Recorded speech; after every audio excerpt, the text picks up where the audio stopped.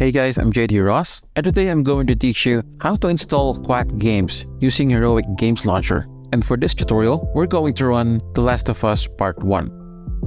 For our first step, go to the Discover Store, and then search for Heroic. Install this, and then open it. Go to the Wine Manager, Proton GE,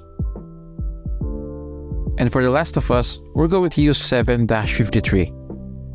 So install it, and go to the library, add game, type the name of the game,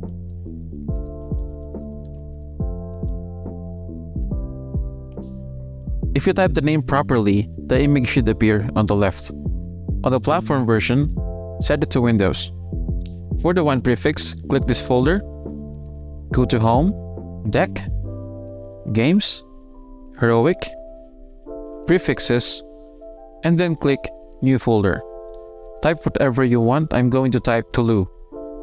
And then press OK, press Choose, and then for the wine version, we're going to select the one we just downloaded if you haven't installed the game, click Run Installer first and then select the installer of the game and then install it. If you already have the files of the game, just click this folder and then find wherever you installed the game and then choose launcher.exe and then press finish. On the description, there will be a file called VC Redist. Download that first and then click here Scroll down, click WineCFG. Make sure that this is set to Windows 10. Click Apply and then OK. Click this. Find the Redist. Select. Install it. And that's it. The game should now work. And all that's left is to add it to Steam. Simply click here, click this button, and then add to Steam. The game should now be available in game mode.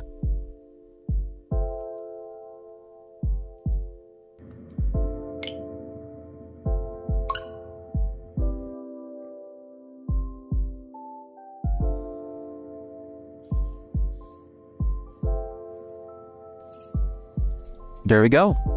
Just make sure to wait until the building shaders is done before playing the game. It might take an hour or two. If you like this video, make sure to like and subscribe. You can also join us on the Discord server. The link is on the description. Once again, I'm JD Ros. Thank you for watching and see you on the next video.